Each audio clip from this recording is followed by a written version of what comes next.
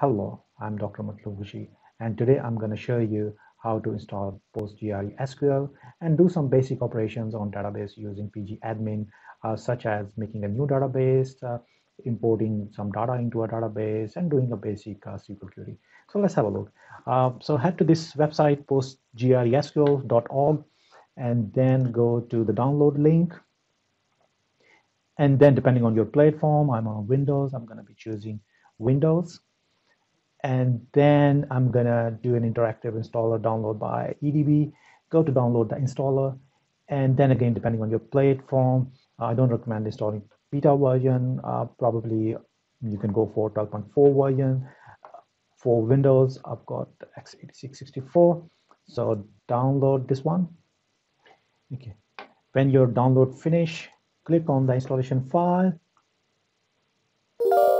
a security window pops up. Uh, you give, you say, yes, I'm verifying the installation. And then you wait for installation pop-up to come up. Um, it's coming up. Yeah, here we go. Um, welcome to PostgreSQL Setup Wizard. You go next. So it's gonna install PostgreSQL server, database server itself, and to connect to the database server, server you're going to be using pgadmin 4. And Stack Builder is uh, software which manages other components on the top of uh, your Postgres. And then the command line tool, you might need it uh, to do some restoring the database, taking backup, stuff like that. Uh, click next you, because I've previously installed it uh, saying it got a directory there and it's using this configuration this port, I'm going to override it. So this is a very important information. You need to know the directory where it's going to install it. And then you need the port, database port that is uh, going to be using. And very important, you need to know the database super user, which is the administrator of your database. So it's called Postgres, P, P-O-S-T-G-R-E-S. Uh, you need to remember that. So whenever you've been asked to enter the super user or database user, you're going to use this. And then you will set the password for this user very soon. Okay, it's saying because I've already got a PG admin server running. Okay, I'll say, okay, yes. Now we got to wait. Okay, now we got this um, uh, completing the PostgreSQL setup wizard, uh, you can, it's up to you, but I recommend you can tick off Stack Builder, maybe use to download and install additional tools, drivers, blah, blah, blah, blah. You can just tick this off and then just finish. And then it's gonna ask to restart your computer. Uh, you can say yes or no, depending on your preferences, but I recommend that you restart the computer so that your all services up and running. So we'll see you in a moment when I'm back.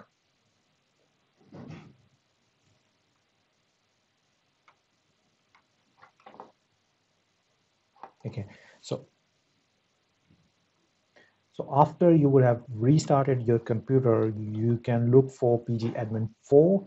When you click on this, it's gonna open up in your web browser. It's a web-based application uh, which connects to Postgres server and then let you do all the database related tasks in there. So click on the servers, it's to show up all the servers that's been installed there. When you open up the pgadmin for the first time, it's going to ask you the password because I've installed this before. It didn't ask me this time, but when you open it up for the first time, it can ask you the password. You set the password. And also when you click on the Postgres database server, it will ask you the database password, which you would have set during the installation process.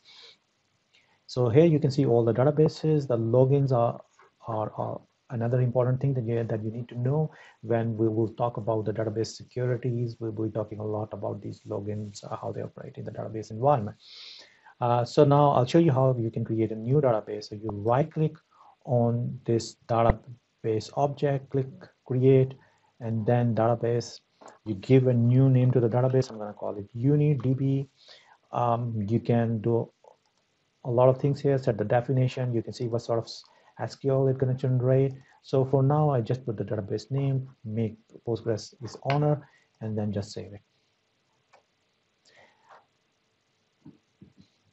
So it has uh, now created a new database, which I'm calling UniDB, and then it has its own public schema in there. But what I'm going to be doing, I'm going to be uh, creating a query tool for this one, and then I'll open up a SQL file that I've saved in my download. So you will have a link uh, in the description to download this file. So this is a schema. It has all the tables and all the constraints, the permissions, and the and the dummy data to play with. So click on this one, select, and it's gonna open up all the code. You just open execute or F5. It executes very efficiently within a second and it has generated all the objects that we need uh, to do our uh, experiment and practices. So now if I refresh this UniDB uh, from here, so now we can see there's another uh, schema called UniDB. I can expand this UniDB and then I can have a look all the tables in there. So if I wanna look the data inside any of this table, I can right click go to view edit data and then all rows. It opens up a new SQL um, window where it writes the SQL for me and then it shows all the data in there right? Um, let's have a look another one. Uh, before we do that okay let's if we, if we expand any of the table we can have a look what sort of fields it has um, and what type of constraint this table has been given. Or you can look up the same information. If you right click on the table go to the properties you can look at uh, all the columns that's been uh, set for this table. Uh, you can add more columns there.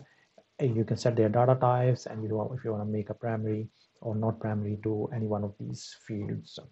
Um, you can have a look constraint because we set uh, the student ID as uh, as a primary key. So primary key got to be not null. It can't be duplicated. So there's a, it automatically creates a constraint on this field.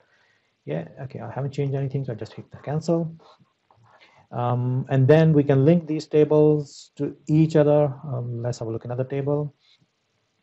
Um, transcript, go to view all rows and